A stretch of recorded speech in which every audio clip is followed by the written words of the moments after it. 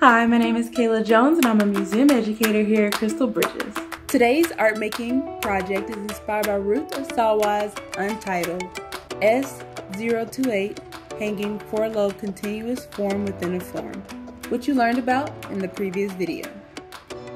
Asawa experimented with new materials and created sculptures based on her drawings of things in the world around her. Asawa believed that an artist is someone who can take ordinary things and make them special. And that's exactly what we're going to do today. In this art making project, we will draw from the world around us and create a sculpture with the materials in your kit. You can pause this video or scroll back to any step if you need to. Find these materials from your My Museum kit. White paper, a pencil, twisty wire, pipe cleaners, rubber bands, and paper clips. With permission from an adult, grab a pair of scissors from your home. This is optional. Take a moment to look at your surroundings. Are there objects in your home that look interesting?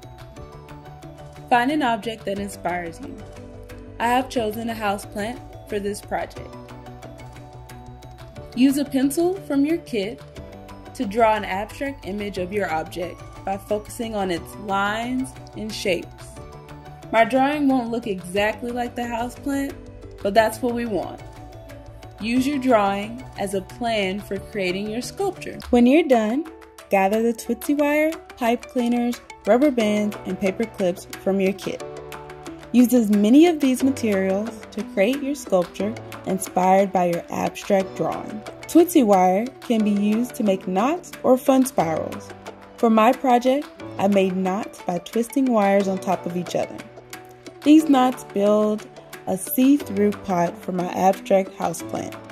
I also created spirals with the loose ends of wire. You can make spirals using your hands, like I did, or wrap them around a pencil.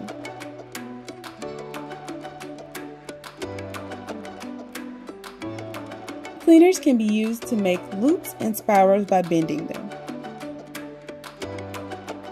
You can also layer different colors for a braid.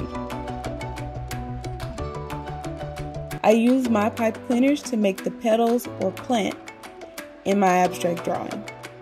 Then I connect the ends to the sides of my pot that I made out of Switzy wire.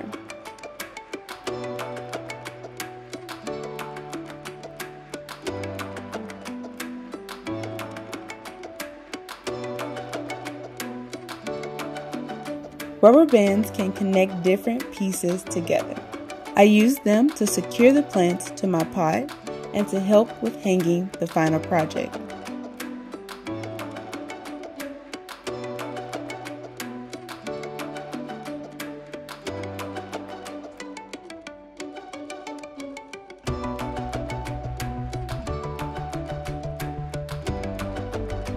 Paper clips can add fun, simple shapes to your sculpture by bending them.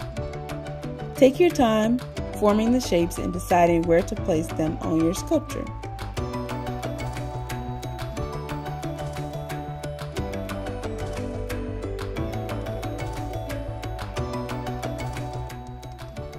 When done, admire your work. Now find a good spot to show it off in your home. When you're done, be sure to clean up your space and put your unused supplies back into your My Museum kit. Thanks for making this art project with us today. With an adult's permission, take a photo or two of your completed art project and post it on social media with the hashtag MyMuseumKit. Enjoy exploring!